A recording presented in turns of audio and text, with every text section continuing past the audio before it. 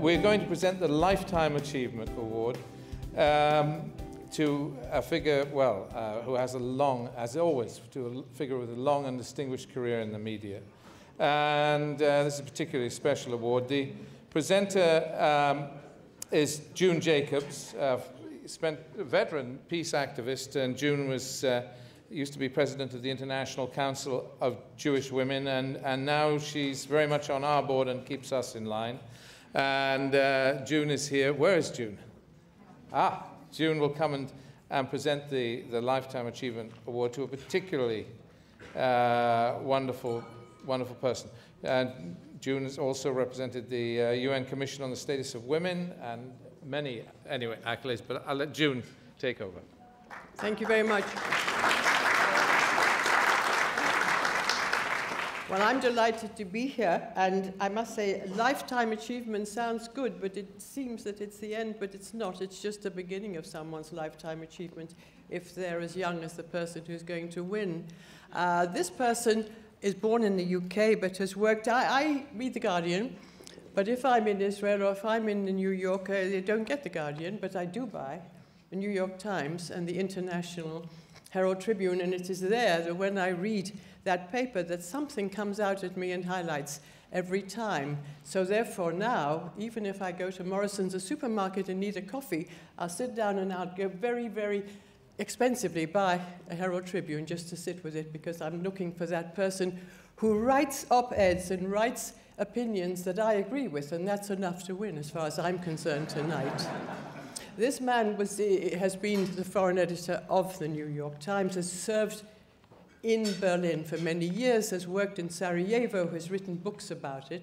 I can't give you a lecture about all this frightful stuff because I don't know enough. I just know that when there's an achievement that comes out and hits us all, it's very important that we award that to the person who has won and who will perhaps, hopefully, tell you more about the sort of sophisticated stuff that he writes about, and I can't. But I'm delighted and honored to say that the winner is.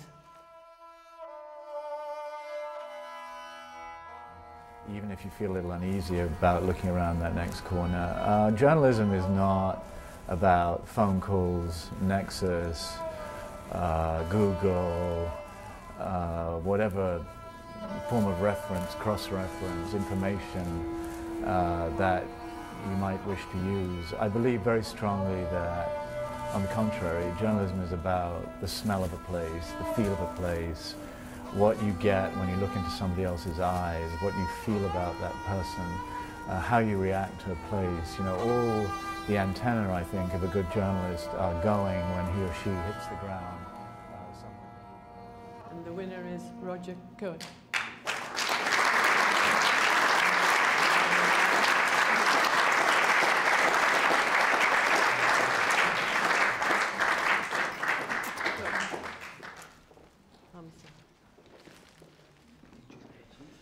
Good evening, ladies and gentlemen. Um, thank you very much, June.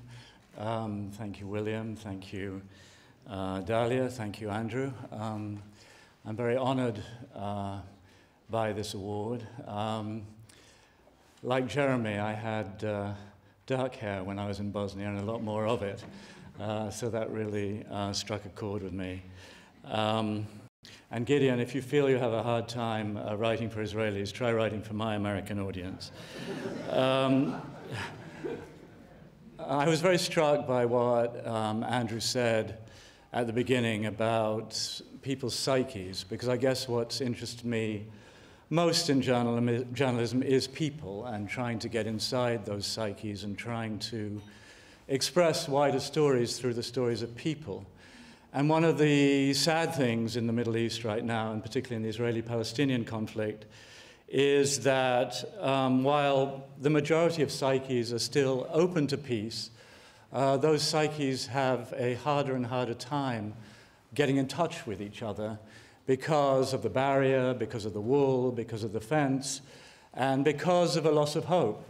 And I think one of the most important things that journalists can do uh, and people like um, Gideon obviously do day to day in Israel, is try to keep um, those avenues open.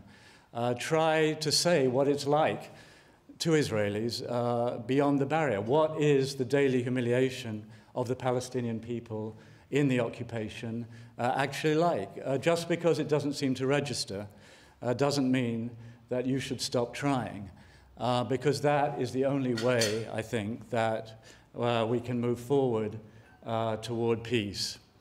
Um, let's not be too impatient with the Arab Spring. Uh, I was in Tahrir Square for two weeks. I was in Tunisia. I was in Libya. I was there in the giddy moment uh, of adrenaline. Uh, the adrenaline fades, of course, and then comes the hard part. I was remember in Berlin on the 10th anniversary of the fall of the wall, uh, one of the leaders of the uprising in the East saying, We dreamt of paradise and we woke up in North Rhine Westphalia. Well, North Rhine Westphalia is not that bad a place at the end of the day. And let's remember that the transformation in Europe after 1989 uh, took a generation. The road's going to be bumpy, it's going to be uneven, it's going to be difficult. Uh, but I believe when people say there hasn't been a revolution, I say yes, there has been a revolution. And where isn't the revolution? It's in people's minds, it's in the minds of Arabs. They have discovered agency. They believe now that they can change their lives. They are no longer going to accept living under despots, be it the Assad regime in Syria, be it secular, be it religious. No. If things are turning against them, they're going to go out on the street and they're going to make their voices heard. And in my view, if any people should understand the struggle for freedom, for democracy, for more accountable societies, for more open societies, for decency, it's the Jewish people. Because we spent thousands of years struggling for just that. Alas, I think the reaction uh, in Israel in general to the Arab Spring has been uh, hostile. Uh, there's a kind of nostalgia for the old security agency to security agency relationship. That's gone, that's history. And I believe in the long term, if we could see a more open attitude on the Israeli side, there is huge potential uh, in this change um, for progress in the long term. And I believe that the changes that we've seen are irrevocable and will move forward toward the kinds of societies uh, I've just described. Um, in conclusion, I'd like to um, dedicate my award um, to the memory of my colleague, Anthony Shadid, uh, two-time Pulitzer Prize winner, uh, who died uh, in Syria shortly before uh, Marie Colvin. Uh, Anthony was an extraordinary correspondent, as those two Pulitzers uh, suggest.